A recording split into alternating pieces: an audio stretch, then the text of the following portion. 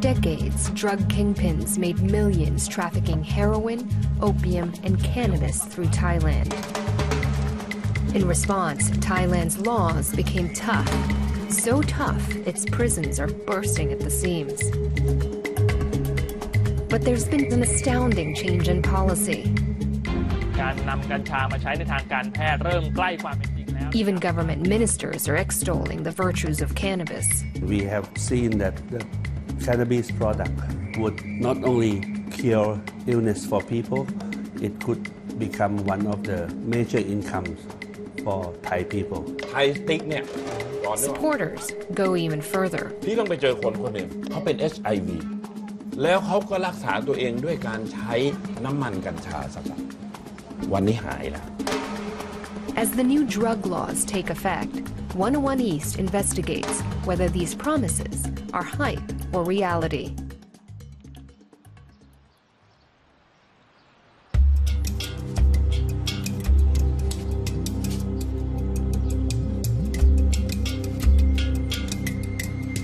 It's a quiet afternoon here at Rangsit University in Bangkok. But security is tight.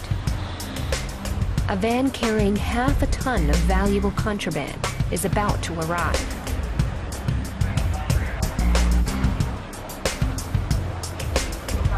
There's 500 kilograms of cannabis here, and normally it would go to an incinerator, but today it's going to Thailand's very first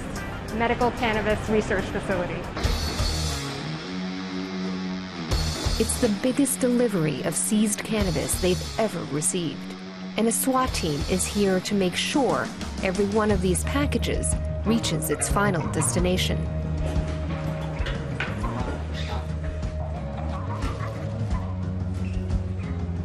more than a year ago, cannabis was a class 5 drug. Anyone found possessing or using it in Thailand could get up to 10 years in prison.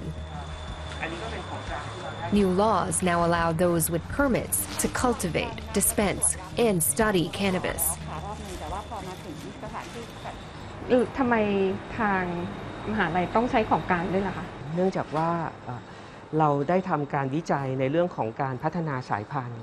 แต่ว่าอย่างไรก็ตามเนี่ยในกระบวนการของการพัฒนาสายพันธุ์ มันต้องอาศัยระยะเวลาครับ เพราะฉะนั้นแต่งานวิจัยด้านอื่นเนี่ยเรารอไม่ได้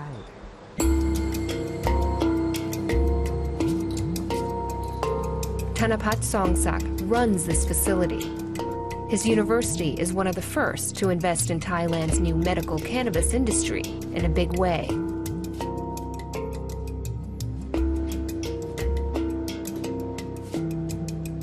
His department is researching the effects of cannabis on different cancers. They are also perfecting the extraction process so they can customize oils to the type of disease. There is a lot of optimism here about the medical and business potential. But not everyone is on board. Critics argue that cannabis is still a dangerous narcotic. นักวิจัยที่ทำงานกัญชา จะต้องทนรับ ความกดดันของกระแสสังคมได้เพราะฉะนั้นทุกคนต้องมีใจที่นิ่งแล้วก็มุ่งมั่น อย่างน้อยที่สุดเนี่ยคนส่วนใหญ่ที่เป็นมะเร็งเนี่ยได้รับความทรมานอยู่แล้ว เพราะฉะนั้นเนี่ยทำยังไงเราถึงจะลดความทรมานให้กับผู้ป่วยเหล่านั้น The demand for medical marijuana is growing. Some advocacy groups estimate more than a million Thais would be interested in getting cannabis treatments. Dr. Walirat Raikoson runs one of the country's first medical marijuana clinics at a Paipubet hospital. She says the government's change of heart came as a surprise. ตอนแรกเราก็ยังยังงงๆอยู่เหมือนกันถ้าถ้าพูดกันตรงๆนะคะ ว่าเพราะมันถือว่าเป็นเรื่องใหม่ของประเทศไทย แต่จริงๆ เราก็ทราบมาพอสมควรจากการที่ศึกษาข้อมูลมา She says when the clinic first opened its doors, they were flooded with patients. เอ่อวันวันแรกที่เปิดคลินิกนี่ เขาเรียกว่าตรง OPD นี่แทบแทบแตกอะค่ะ เพราะว่าอันที่หนึ่งเลยก็คืออจากการประชาสัมพันธ์ในภาพของประเทศด้วยนะคะงั้นทุกคนเนี่ยมองว่ากัญชาเนี่ยเป็นยาวิเศษ These days, the hospital requires patients to phone in advance to check if they're eligible for cannabis treatment. The government has stipulated 38 conditions that qualify, from allergies to cancer. But many still come hoping for a miracle. ไม่ตรงกับโลกอะคุณลุงจะเชื่อคนที่สั่งกัญชาหรือคุณลุงจะเชื่อคนที่ไม่ต้องต้องเชื่อหมอทางนี้สิคนไข้เข้ามาที่เราเนี่ย ทุกคนมีความคาดหวังว่ากัญชาสามารถรักษาให้หายได้ทุกโรคนะคะ จะเป็นเอสเป็นเอ่อเป็นมะเร็งระยะสุดท้ายอะไรพวกนี้ตรงนี้เราก็ทำหน้าที่ในฐานะของการที่เราเป็นบุคลากรทางการแพทย์เนาะก็ต้องมีคลินิกให้คำปรึกษาแล้วอธิบาย Patients who are given cannabis oil are tracked through their national identification number to make sure they don't go to another hospital to try to get more. Pharmacists call them at home to ensure they're taking the correct dose and to collect data for research. เภสัชอะเขาจะโทรสอบถามอาการก่อนหลังจากที่แบบได้ยาไปภายใน 3 วันเนี้ยอ่า But not everyone is this vigilant with their patients.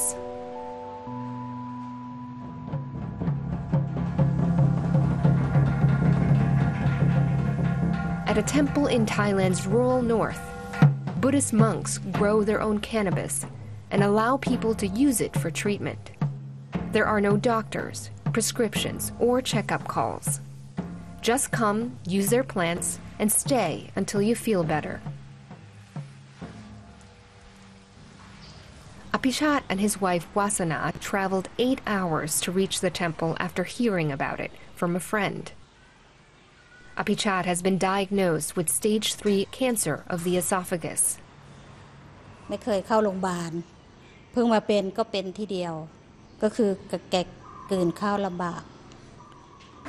คือมันกลืนไม่ลงแล้วแล้วสำลักน้ำลายก่อน พอ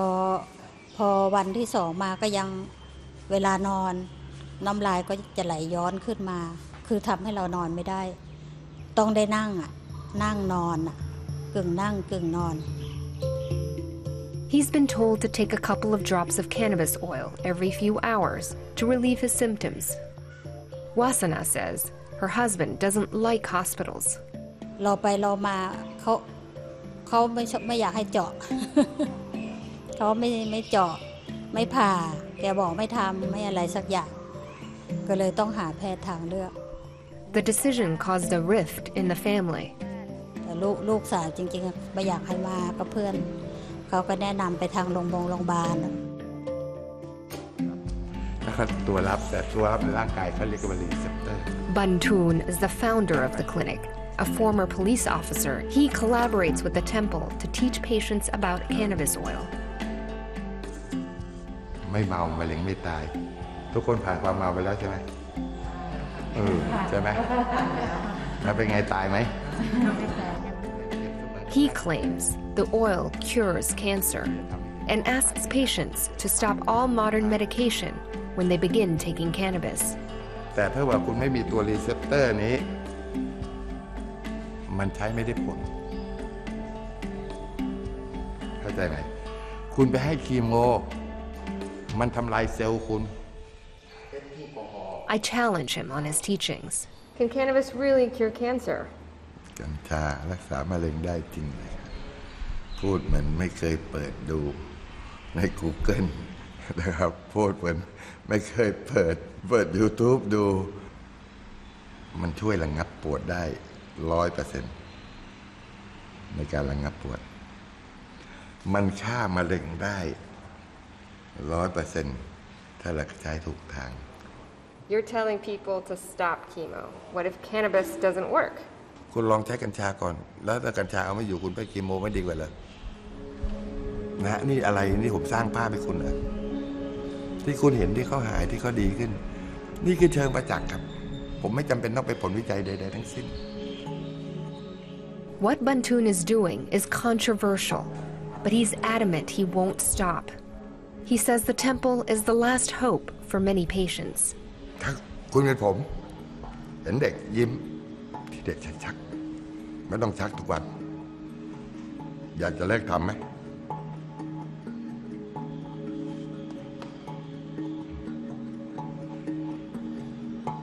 แล้วก็ไม่มีใครรับนะครับ ไม่มีใครรับเรื่องนี้ไปทำก็เราก็ต้องทำกันอยู่เนี่ย Buntun's claims have not been scientifically proven, and experts warn that cannabis oil dispensed outside of hospitals can be contaminated by pesticides and heavy metals.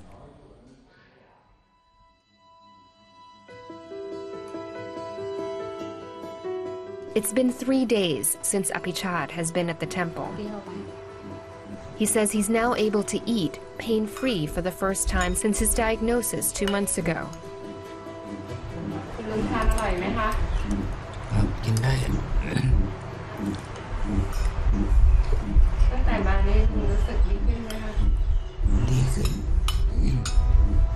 ดีขึ้นเยอะเลย ตอนมาที่แรกเนี่ย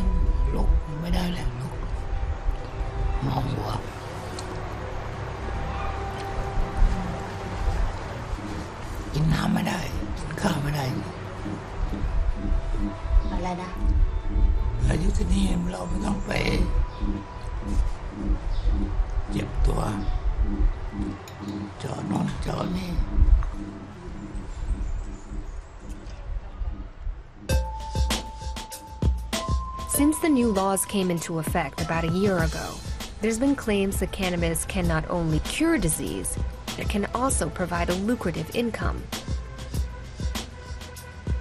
One consulting group estimates the Thai cannabis industry could be worth more than $2 billion by 2024. เพราะฉะนั้นพรรคภูมิใจไทย Politicians campaigned on these promises. ได้ 1 กิโล 6 ต้นก็ได้ 6 กิโล ได้ปีละ 6 กิโล กิโลละ 70,000 70,000คูณ 6 กิโล ได้เงินเท่าไหร่ครับพี่น้อง 420,000 บาทครับพี่น้อง Tens of thousands of people were drawn to Thailand's first cannabis festival last year. Exhibitors showed off their plants, oils, and edibles. YouTubers wandered the festival in awe. Even the Prime Minister is happy to promote the government's new mascot. They call him Dr. Ganja. This change of attitude is apparent in the traditional medicine industry. Almost 3,000 traditional medicine practitioners are certified to prescribe cannabis, compared to just 400 medical doctors. I go to a traditional medicine clinic with the highest stamp of approval from the government. I'm here at the cannabis clinic at the Ministry of Health, and they're saying that patients can come in here and get free cannabis oil if they qualify. So I'm going to go through the process and see if I can take cannabis oil home today. I check in with an app and hand over my Thai ID card for their tracking system. They take my blood pressure and ask about my medical history and my symptoms. I tell them how I've been having difficulty sleeping. With that, the doctor says I qualify and can take three drops of oil a day. She assures me it's not much. In fact, you would need to take half the bottle to feel a strong high. So, I've just received two bottles of cannabis oil. Each has about 100 drops each, uh, it's been prescribed for my insomnia. It took me less than 30 minutes to go through the entire process to get the oil. Just a few years ago, using cannabis, dispensing cannabis, would have been completely illegal. Thailand's Minister of Health explains the government's sudden change of heart. I think Thai people actually were ready for these products uh, long before my party launched this campaign. We heard what Thai people wanted. On the campaign trail, some people in your party are saying you could get up to $2,000 per kilogram of cannabis. Is that realistic? This is typical economic philosophy, demand and supply. People will have to compete in the quality of the products. So someone that come with good seeds, good technologies, and some kind of uh, research and development will will have a, a better opportunity. I ask him how far the laws will go. recreational use is not the purpose. Our policy is we want ill people to have op- options in curing themselves. We want another business opportunity for farmers, for industrialists. Thailand's openness towards new laws is tied to the country's deep history with the plant. Traditionally, Thai people used cannabis to treat common ailments and spice up noodle soup. But the plant has been illegal for more than 70 years, and few people know how to grow it anymore. I'm on the road with Jamsuda Nirandon, who recently started a legal cannabis farm, but finds it difficult to get reliable information on cultivating a high quality crop in Thailand. ต้องพูดตรงๆว่าในในในประเทศไทยอะค่ะ คนที่ปลูกในส่วนของกัญชาจริงๆเนี่ยส่วนใหญ่คนถ้าจะถามว่าถูกกฎหมายร้อยเปอร์เซ็นต์เนี่ยไม่มีใครปลูกเองหรอกค่ะ หนูกับน้องเริ่มคือเริ่มจากพูดตรงๆว่าปลูกไม่เป็นเลย แล้วที่ที่ยังรอดมาทุกวันนี้ก็คือยังมีความช่วยเหลือจากหลาย ๆ ฝ่ายที่มาจากแบบผิดกฎหมายบ้าง So we're on our way to meet an illegal grower called Daddy Dum. เขาจะบอกเลยว่าใครไม่รู้จักพ่อดำก็คงไม่ใช่แล้วว่าคุณไม่ใช่แบบคุณไม่ใช่ไม่เข้าใจแล้วว่าเออกัญชาคืออะไรดีกว่า On Koh Tao Island, far from Bangkok, Daddy Dum, whose real name is Aram Limsakun, has been secretly growing cannabis for more than 25 years. He remembers a time when cannabis was commonplace on the island. I was born on the island, which is growing marijuana a lot at that time. Because uh, fishermen, they need some kind of uh, relaxation to go and work in the sea, rough sea. It's very stressed, yeah. And using cannabis, smoking bong, it helped them to stay out in the sea without fear. He too has embraced cannabis's medical properties. He gives out the oils he extracts by leaving stashes at the local ganja shop for those who need it. But earlier this year, he was arrested for growing without a license. That doesn't bother Jamsuda. She's excited to meet him. พ่อจ้าหนูจะเหยียบกิ้งกือแล้ว พ่อสบายดีไหม สบายดี บ้านพ่อขึ้นไปทางนี้ใช่ไหมคะ ว้าว ชันใช้ได้อยู่ He shows Jamsuda and I the rooftop terrace where he used to grow his plants before the police took them away. อ๋อตอนนั้นเอ่อปลูกไว้ 30กว่าต้นนะอ่า แล้วเขามาเจอยังไงล่ะคะ ตอนแรกก็เขาบินโดรนอยู่แถวเนี้ยครับ แล้วก็ตอนหลังเขาก็เข้ามา ตอนช่วงผมไม่อยู่พอดี ไปรับลูกโรงเรียนแล้วกลับมาเขาก็ขึ้นมาจัดการเรียบร้อยแล้ว He's now awaiting trial, but he says he's not worried about being sent to prison. อืมเผื่อที่เผื่อบางทีก็จะได้เป็นรักษาคนในคุก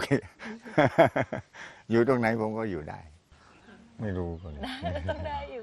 Jamsuda and Aram get down to business at a local restaurant. ก็คือตัวนี้ถูกไหม She confesses that she's having difficulty with a strain she's working with. ตอนนี้ก็เลยบอกเขาเพิ่มว่าอะถ้าอยากให้ปลูกพันธุ์พ่อ คือถ้าคือถ้าอยากให้ปลูกคือต้องให้จำนวนเพิ่มมากกว่า เพราะไม่งั้นเราก็ไม่ไหวในการคุมค่าใช้จ่ายต่อเดือน ปลูกมาก็ขายไม่ได้เนี่ยอย่างนี้เกษตรกรจะปลูกได้ยังไง Aram is known for perfecting a strain that can perform well in Thailand's humid climate and wants to continue that work. And what, what I try to, to breed out now is, is the strain which it can grow everywhere in Thailand, outside, not indoor. Hmm. And this should be good enough for medicine. So it's not too expensive for regular people to try and grow? No. Weren't you afraid to get arrested? Ah, yeah. I never feel scared or afraid because I never think that it's bad. I'm not uh, kill anyone. I not harm any anyone. A devout Buddhist, he gives out his advice and his oils for free. It's those seeking profit who worry him. They start to do business, they start to sell, and then they lost their way. Um, this plant is, is, is gift from nature. People should, should learn how to grow, how to use, and how to help other people, not to make money. Because if, to make money is it be bad uh, to to our soul, our mind. Making money is exactly what many people are banking on. Early investors hope that being the first to break into the market will give them a leg up. Jom Suda and her sister Jom Kwan run Rakjang Farm in Thailand's northeast. They're known for their Japanese melons and Instagram friendly spots. But now it's one of Thailand's newest legal cannabis farms through a collaboration with Apaipu Bet Hospital, which buys their crop. ตอนแรกคุณพ่อก็แบบยังไม่ค่อยเห็นด้วย แต่พอเขาเห็นว่าแบบเมืองไทยเริ่มเปิดเนี่ย ก็เลยแบบเริ่มมาทำที่สามารถแบบว่า Jom Kwan gives me a tour. Their farm is well equipped with greenhouses and a legally mandated security system. You have to pass locked doors and dozens of cameras before you can get a glimpse of these seedlings. ซึ่งทั้งหมดในปีนี้เราได้รับอนุญาตทั้งหมด 2,448 ต้น To abide by the rules, they must keep track of every part of every plant. ในส่วนที่ว่าพอเราตัดเป็นช่อดอกให้เขาเสร็จอย่างเงี้ยเราก็ต้องเก็บทั้งในเศษที่ว่าเราตัดแต่งก้านรากก็ต้องแบบไปขุดมาจากดิน แล้วก็แบบรวมเอาไว้ทั้งหมดให้เขาแบบเผื่อวันที่เขามานับ They admit they still have a lot to learn. ใช่ มันจะเจอหนักกว่านั้นโคตรแย่พี่แบบ ตอนนั้นเฮ้ยแบบพี่โดนตัดแบบสั่งตัดแบบมันเป็นลาก็มันเป็นลาพี่ทำไงได้อะเออใช่ มันโดนมันโดนหนัก แล้วคือถ้าเกิดแบบ ถ้าเกิดพี่พอตั้งแต่เริ่มอะ มันเหมือนลูกอะโอ้ให้เขาโตใจเย็นนะ อย่างเงี้ยแบบถัดได้ไหมอะ Growing cannabis also needs money and connections most farmers don't have. Jom Suda says some people questioned their background. คือหนูโดนว่าใช้เส้นสายยังไงเหรอจ่ายเงินต้องจ่ายใต้โต๊ะเท่าไหร่ แบบอะพ่อแม่เป็นใครอารมณ์ใช่แบบพ่อแม่เป็นใครพ่อแม่หนูเกษตรกรค่ะ ไม่มีอะไรเลยค่ะ แต่แค่พ่อใช่ที่เดินผ่านเมื่อกี้เดินผ่านใช่คือ แล้วก็ถามแล้วบอกว่าหนูได้งบจากรัฐบาลมา100 ล้าน ใช่ พี่ดูสภาพพวกหนูสิหนูยังไม่ได้ร้านเงินเดือน ป่านเนี้ยหนูนั่งอยู่ในบ้านตากแอร์เย็นแล้วจ้าเขาซ้อนเดินอยู่ในฟ้าแล้วพี่ They are trying their best to keep costs down by making their own equipment and using solar power. It's unclear if they'll ever turn a profit, but they are ambitious. ให้มันพัฒนายาวไปเรื่อยๆ เราสามารถที่จะส่งออกได้ หรือเราสามารถที่จะทำผลิตภัณฑ์ขึ้นมาได้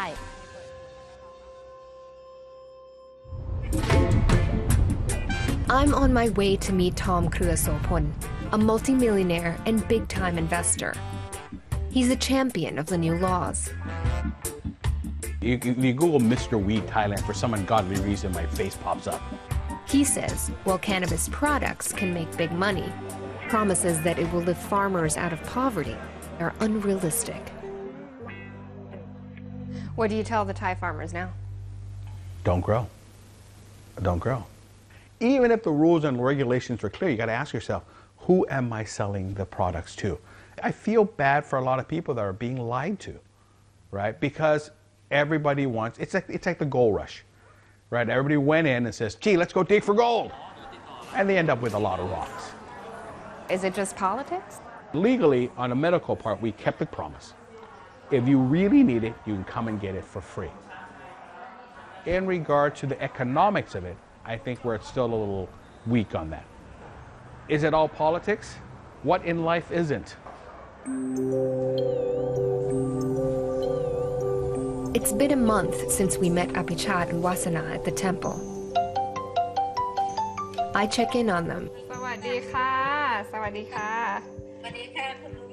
อยากจะมาถามข่าวคราวเกี่ยวกับเอ่อเกี่ยวกับลุงอะค่ะว่าตอนนี้อาการเป็นยังไงบ้าง ช่วยเล่าให้ฟังหน่อยได้ไหมคะ ตอนนี้ก็กินข้าวได้นะ เดินเดินไปไหนได้นะ เดินก็สะดวกขึ้น กินข้าวก็กินได้ปกติแค่กินสามมื้อนะ He tells me he's gained three kilograms. He even cracks a smile when I ask if the oil makes him high. อืมก็เมาครับ ก็ก็หยอดเยอะเขาเมาเยอะแล้ว เขาดีขึ้นเรื่อยๆ ก็จะใช้ไปจนกว่าครบสามเดือนแล้วค่อยไปตรวจ They don't know if the cancer is gone. But like so many involved with the cannabis industry in Thailand, they are hopeful.